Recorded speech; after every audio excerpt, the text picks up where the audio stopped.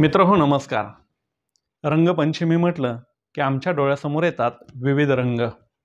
खरं तर विविध रंग एकत्रितपणे पाहण्याची आणि त्या क्षणाने मोहवून जाण्याची वेळ प्रत्येकाच्या आयुष्यात येते. ती म्हणजे ज्यावेळी आपण पहिल्यांदा इंद्रधनुष्य पाहतो.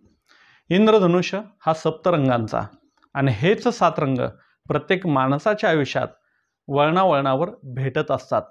याच सात रंगांचा अर्थ सांगण्याचा हा प्रयत्न कवितेचं शीर्षक आहे इंद्रधनु.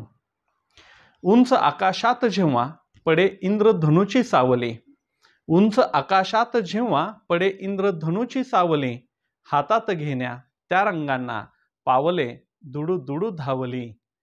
सप्तरंगांच्या त्या प्रेमाने पाऊल जसं जसे पळे सप्तरंगांच्या त्या प्रेमाने पाऊल जसं जसे पळे आयुष्याच्या वळणावरे अर्थतयांचा मजकळे.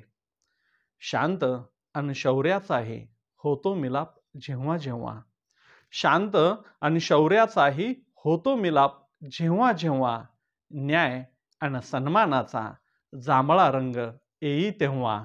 लाल रंग असे शौर्याचा भाळी शोभतो टिळा लाल. लाल रंग असे शौर्याचा भाळी शोभतो टिळा लाल. रक्त सांडता मातीसाठी विजयाची पेटते मशाल. त्याग अन बलिदानाचा या मातीला असे वारसा. त्याग अन बलिदानाचा या मातीला असे वारसा. केशरी रंग त्या क्षणांचा निरभ्र अन स्वच्छ आरसा. हिरवा रंग समृद्धीचा चैतन्याचाही असे ठसा. हिरवा रंग समृद्धीचा चैतन्याचाही असे ठसा. श्रावणाला सजविण्या हिरवाईचा असे वसा. काळा पांढरा होता एक. कुणी म्हणे करडा पारवा. काळा पांढरा होता एक. कुणी म्हणे करडा पारवा. चढ उताराचा आलेख असे.